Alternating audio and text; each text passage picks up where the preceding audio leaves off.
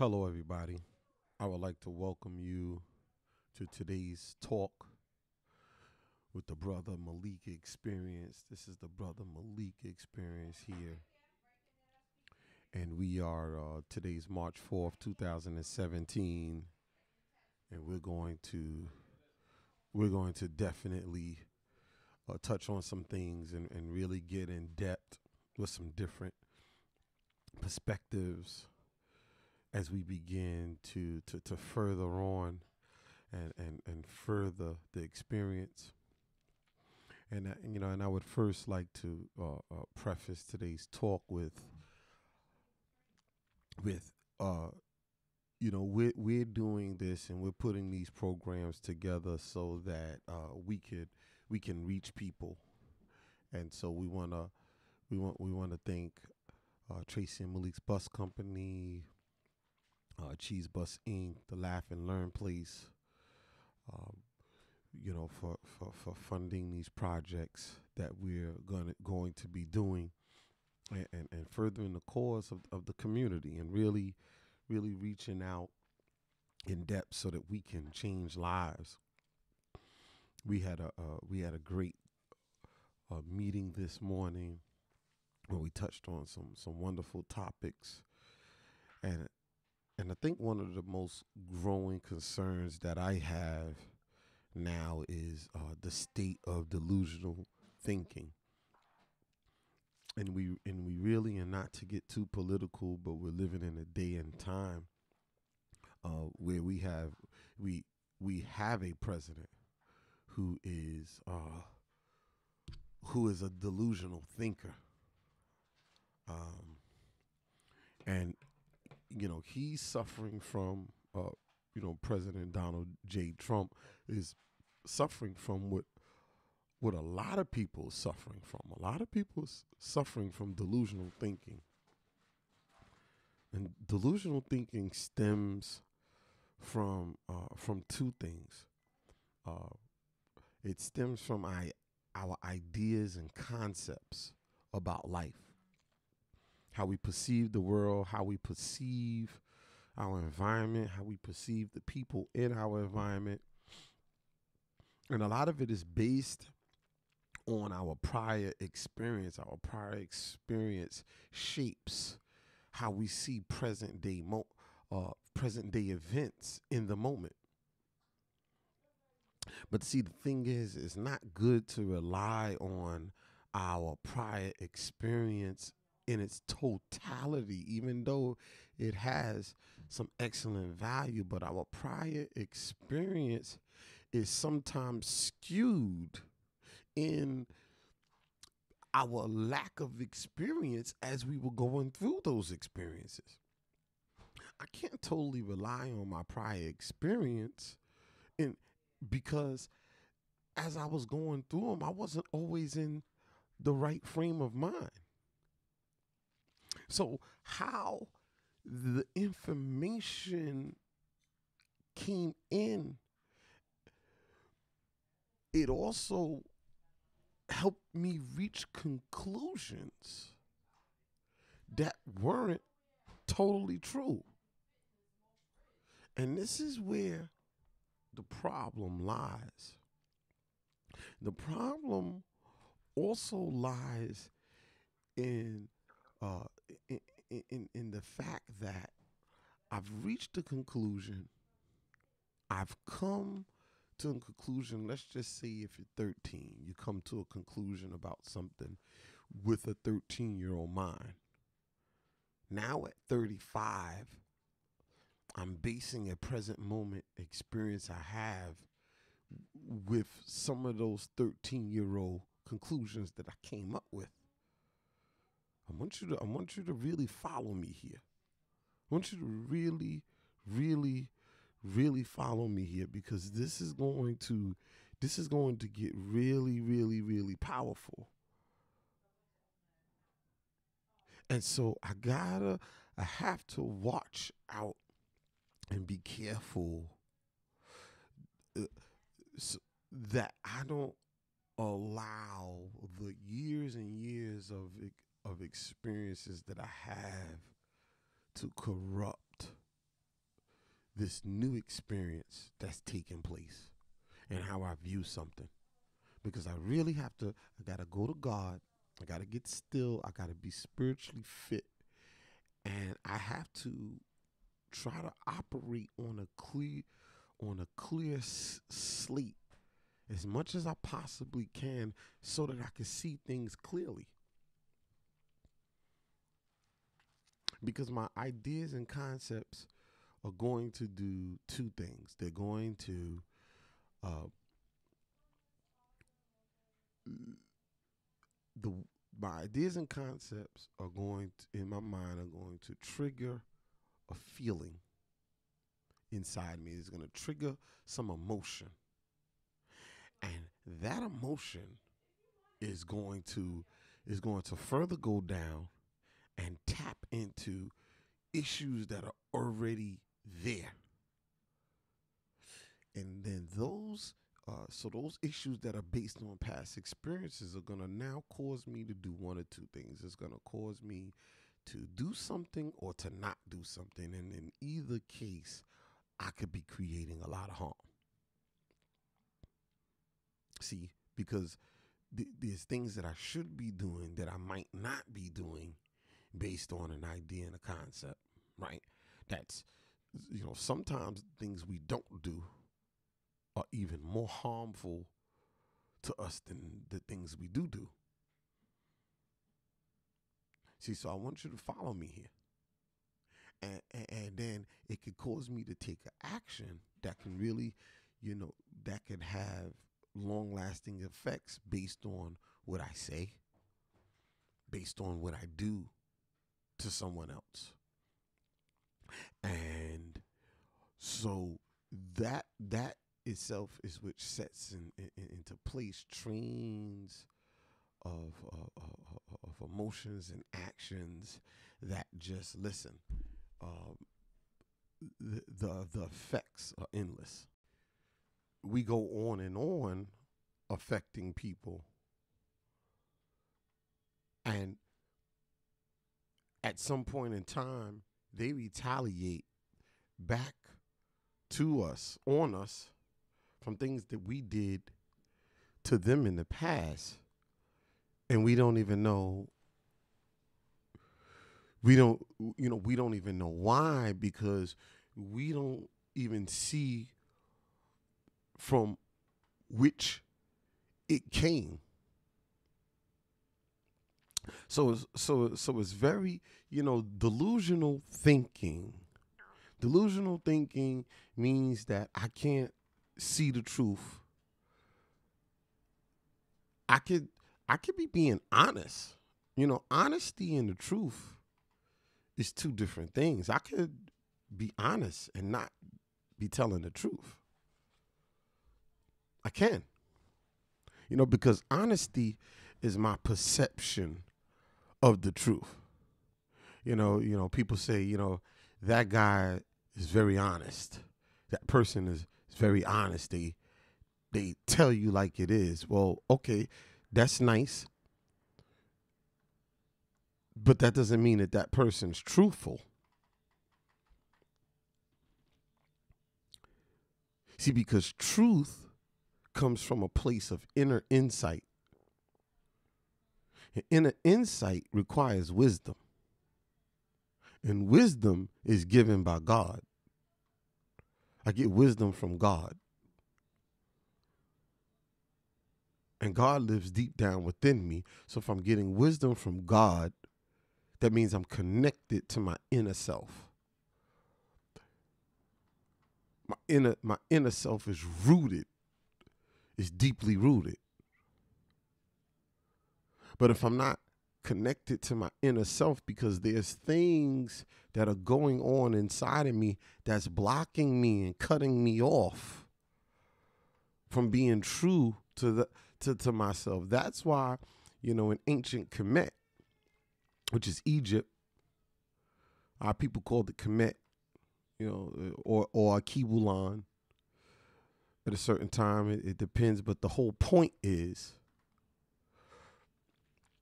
they they they chiseled away on the top of some of the temples know thyself. You know, it kind of it kind of rings with to thy own self be true. Love of oneself. The only way I can the only way I can love myself is that I'm connected to what my inner essence is and I'm operating in the spirit of what my purpose is. And and operating in that spirit is going to I'm going to be operating in a in a truth in an inward deeply rooted truth that will prevent me from having delusional thinking for too long. Because delusional thinking, there's a lot of the root of delusional thinking is fear. Because I'm fe- I'm afraid to face the truth. But there's a lot of branches to that tree of delusional thinking.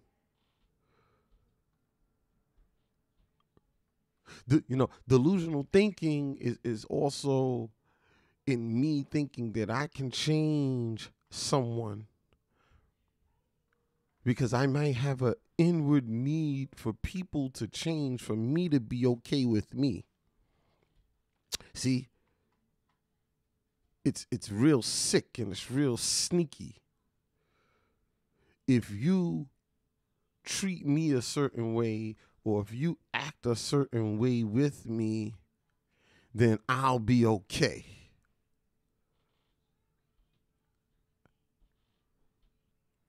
So I don't need others to be a certain way so that I could be okay. Because if my peace and happiness is is reliant upon other people's actions towards me and how they respond or interact to me, then I'm effed. I'm effed. Because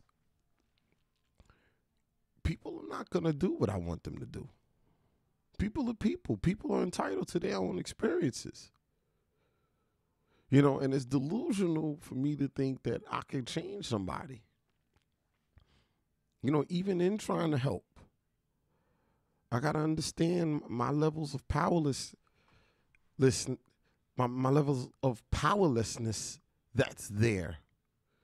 Even in me being a servant of God, I don't determine the outcome of whether somebody grows spiritually or or steps over or is able to leap the leap over the bounds of obstacles that are there for them, even if I see the obstacles. You know, if you tell somebody there's a wall there, they're gonna run harder into it. It's better it's better off you not tell them that the wall is there and just let them run into the wall. They won't run as hard.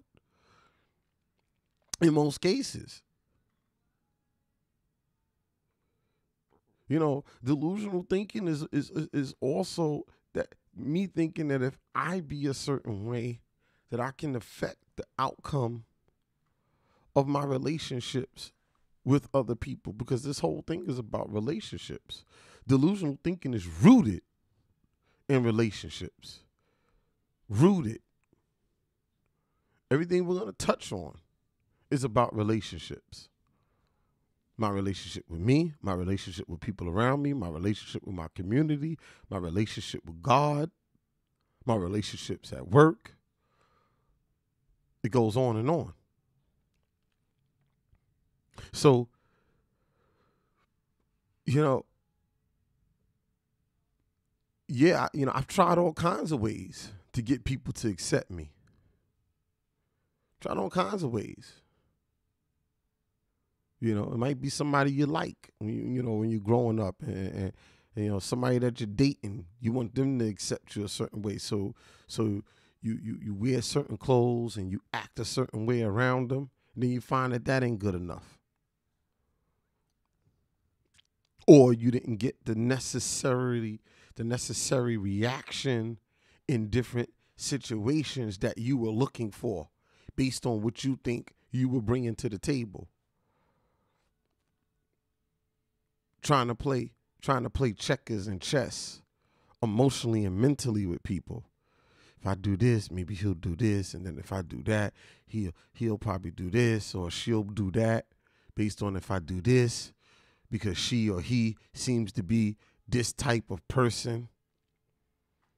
They seem to be that type. They seem to be this type. So if I do this, because last time I was with a type like that, I did this, and then they did that, and then I messed up and did this, so that that that caused them to do that, and that's how I lost the relationship. So you know, this time I'll do it different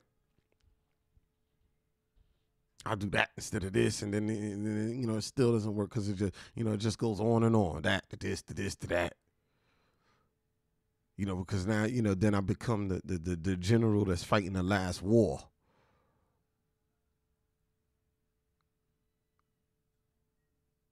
I'm bringing all of these past experiences into new experiences, and and that counts even even with with with, with business, with the workplace at the job. There's some people that can't hold down jobs. So every job they go to, they, they you know they acting. You acting one way with the new boss based on your last experiences with your old bosses. With your new coworkers based on your last experience with your old co coworkers. Delusional thinking. I'm not allowing myself to have a new experience. I'm not allowing myself to be vulnerable because you know, you know, breaking news Breaking news is okay to be vulnerable. If you live this thing called life, you're gonna get hurt. But people can can't only people can only hurt you really, but so much. And everybody, you know, the thing is everybody wants to win all the time. That's the problem. Everybody wants to win. It's all about winning. How can I make sure that I win, that I come out on top in this situation? So you're at this new workplace. You know, you're feeling everybody out. You're looking. You're you you you're canvassing the terrain. You're seeing what you can get away with with the boss, or what you can't get away with. I go through this all the time. I go through this all the time. I'm telling you. Go through this. I'm a boss. I'm an owner and I just watch the train of thinkers and I watch the train of thinking and I watch people ambush themselves based on delusional thinking. You ever sit down and talk with somebody about maybe some some some some some events that transpired and and, and you just listen to them because as as an owner I've learned that I have to be a great listener. I got to listen. It's more important that I listen when I'm talking to them, when we're having conversations. It's more important that I listen. You know, I give a lot of orders and I give orders, but I also need to listen because if you if you listen, whenever something happens, you listen like you know what happened between two of the coworkers or between you and them or, or, or whatever it is, they eh, eh, and let them explain why they did what they did Delusion. Delusion. And I'd be sitting there like, wow, they got this whole thing wrong. You know, because the first the first problem is you're trying to figure out what you think I was thinking. And whenever I do that, I'm in trouble. Lesson let let let lesson number 1 be please don't base a decision and do something based on what you think somebody else is thinking?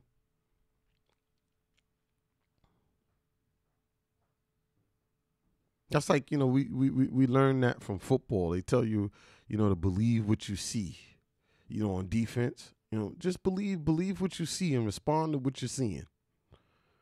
Don't try to think what you think they're gonna do. And some of the worst coaches are coaches who try to anticipate what they think the other team is thinking. Hmm. And think themselves right out the game.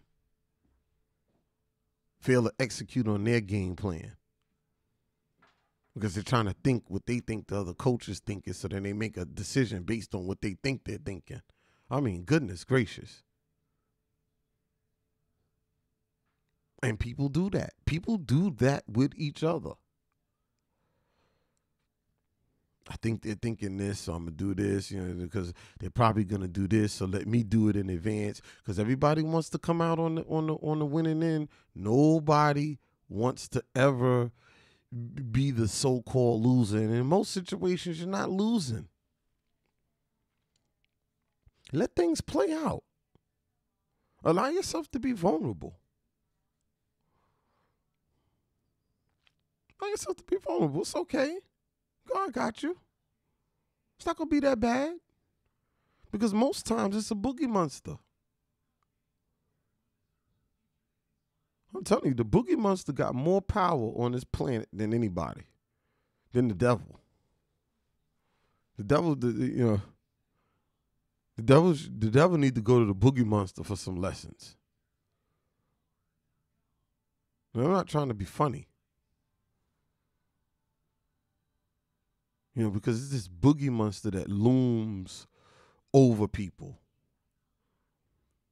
And it causes people to think delusionally.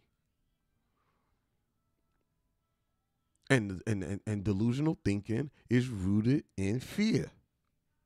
And people who have a fear of losing something that they have or not getting something that they want or being hurt. So, you know, you got a bunch of delusional people out there and having conflicts with each other based on one big delusion. Both people wrong. He did this to me. She said this about me. She did this. She was going to do that. And I know, and she told this one this, and this one said to her this, and he said, and I can't believe he. And it's big, it's big nowadays with guys. Oh man, the brothers are worse than women now. I'm telling you, I got so many people that that that's not talking to me. You know, people stop talking to me over. I don't understand what was going on with brothers. It must be something new in the air. It must be global warming. I think global warming is messing up brothers' minds. Brothers are sensitive nowadays, and it's ridiculous. I mean, I mean, you know, come on.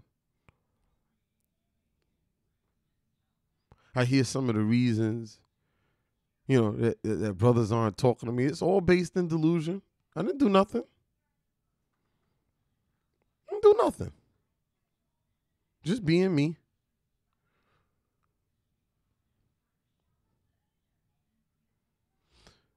And so delusion on top of delusion. And we're going to wrap this up because this is just the first part. We're going to do we're going to do part 2 tomorrow. But delusion on top of delusion. Instincts and collision. The basis of shooting, cussing, fussing and fighting. The basis of it.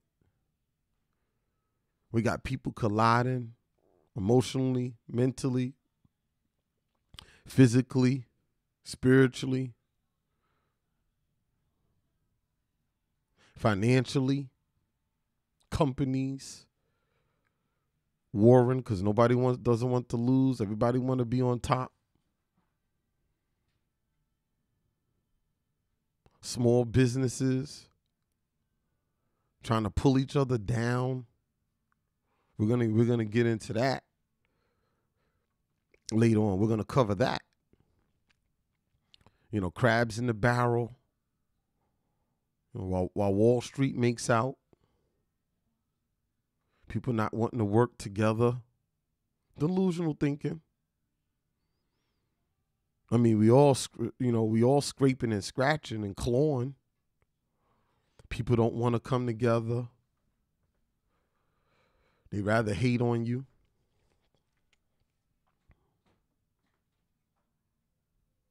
See? you know, based on delusional thinking, not understand that you know that, that, that when we come together, there's more families. Families delusional.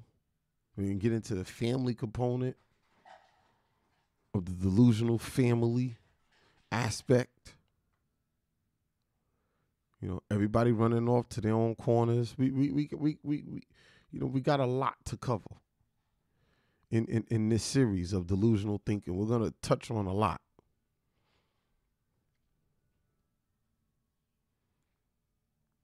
And in the next series, we're going to talk about the family structure, the black family structure. The last, the last institution, the last standing in institution. That's going to be the next series. So I want you guys to look out. Thanks for listening.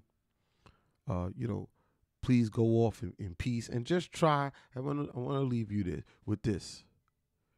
Try just taking it easy and relaxing inwardly and mentally. And, and give yourself the next three days. I'm going to give y'all an assignment. For three days, I want you to just sit back and let the events of the next three days just just play out. That's it. Just let them play out. Don't make any rash decisions and watch what happens. You're going to notice that you spend a lot of unnecessary energy trying to to change things that's not necessary for you to change because they're exactly the way they're supposed to be. Just give your mind three days off and accept the next three days of how they're supposed to be and see what happens. Thank you for listening to the Brother Malik Experience. Peace and blessings.